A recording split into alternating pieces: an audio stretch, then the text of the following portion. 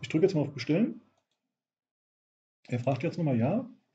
Ähm, er hat hier unten die Bestellung jetzt hier angelegt. Ich mache es gleich nochmal zu und zeige es nochmal.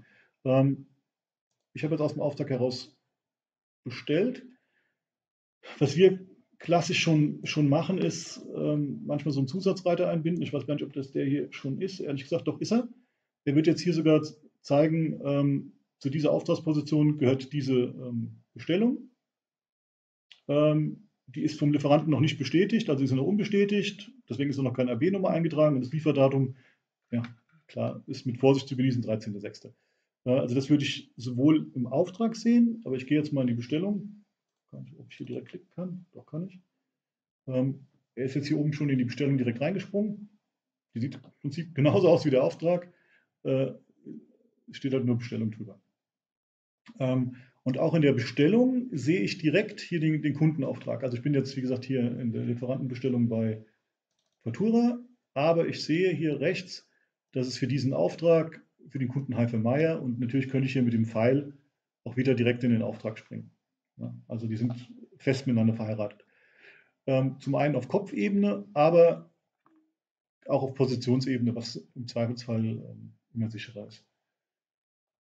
Ja, ähm, also die sind miteinander verheiratet. Das heißt, ähm, auch im, im Auftrag würde ich das sehen. Ich gehe nochmal zurück in den Auftrag und mache nochmal eine Verfügbarkeitsprüfung. Ähm, jetzt kommt vielleicht der, der nächste Kunde und äh, will auch den gleichen Artikel haben.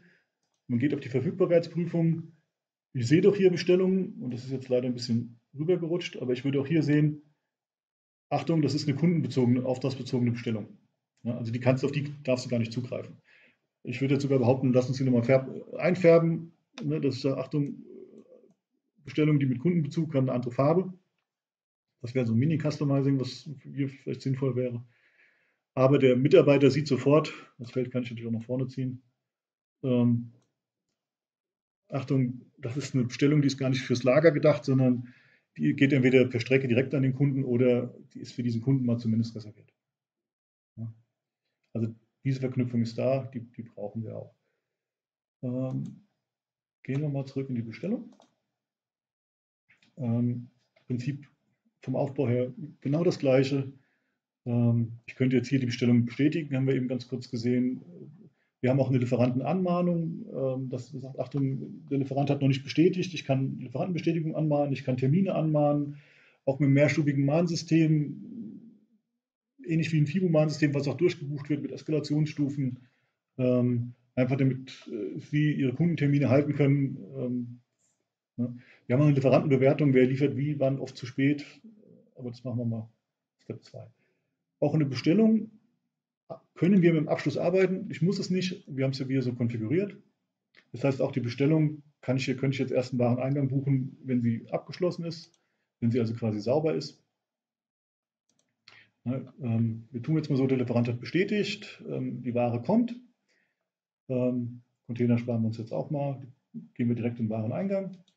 Er begibt jetzt diese Bestellung quasi bei Ihnen an den, äh, die Ware kommt mit dem LKW, Wareneingang ruft sich die Masken auf äh, und kann jetzt hier einlagern.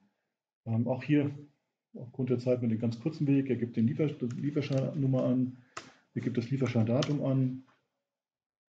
Ähm, Ihr könnt sich den natürlich hier nochmal anschauen. Um eine Sichtprüfung zu machen, ist es auch der richtige Artikel. Ihr könnt die Etiketten drucken, äh, ihr könnt Teillieferungen machen, ihr könnt eine Qualitätskennziffer vergeben. Cross-Docking fürs LVS sicherlich immer ein Thema. Ähm, Mängelbericht, äh, erst nach, nach der Prüfung wahrscheinlich. Ähm, ansonsten machen wir jetzt hier mal einen Eingang, schnellsten Weg. Wir können einen einstufigen und einen zweistufigen machen. Einstufig ist erstmal ein QS-Lager, das heißt, ich bestätige dem die Ware ist schon mal im Haus, damit der Verkäufer auch das sieht und sagt, okay, die Ware ist eingetroffen, aber die ist noch nicht QS geprüft. Also ich habe sie noch nicht im verfügbaren Bereich, es kommt noch kein Packzettel für den Kunden raus, weil du musst erstmal drüber gucken. Wir sind jetzt mal direkt unterwegs, machen hier einen, einen Wareneingang, momentan noch nicht über das LVS, sondern in einem chaotischen Standardlager.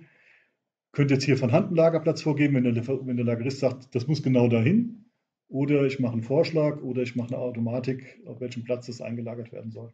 Wir lagern es jetzt mal auf den Platz 01 ein. Ähm, damit ist, die, ist der Wareneingang geprüft. Die Bestellung, ich gehe mal ganz kurz zurück in die Bestellung, aktualisiere das mal, kriegt jetzt hier einen neuen Status 3, ist eingegangen, ist noch nicht rechnungsgeprüft. Ich könnte jetzt von hier aus auch direkt die Rechnungsprüfung ein, äh, ansteuern. Aber wir wollen jetzt hier mal gucken, was im Auftrag passiert, weil wir hatten es ja verknüpft. Wir haben ja gesehen, dass wir eine auftragsbezogene Bestellung gemacht haben. Die ist jetzt auch automatisiert auf Status 2 gegeben, weil ich habe den Wareneingang gebucht, der Kunde wartet auf die Ware, also ab dafür, muss kein Mitarbeiter mehr in die Hand nehmen, sondern ähm, die ist freigegeben zur Lieferung und ich würde hier im nächsten Step, ich mache es jetzt von Hand, äh, aber jetzt eine, eine, Packliste drucken. Ich zeige es mal, ist aber nicht schön. Das ist unsere interne. Ähm, kommt jetzt hier einfach eine Packliste raus.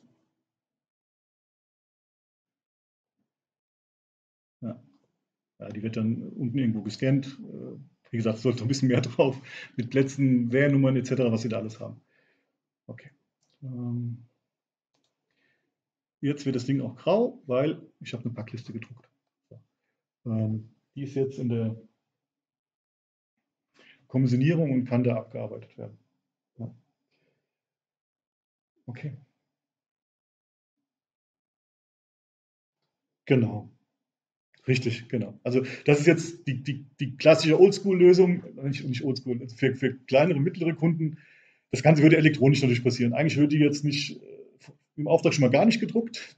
Das soll ja gar keiner, das deaktivieren wir auch oft, sondern die landet quasi ähm, in dem sogenannten Pick-Pool.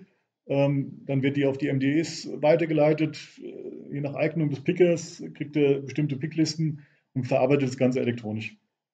Ja, also das ist jetzt quasi die, die Offline-Variante oder die Papiervariante.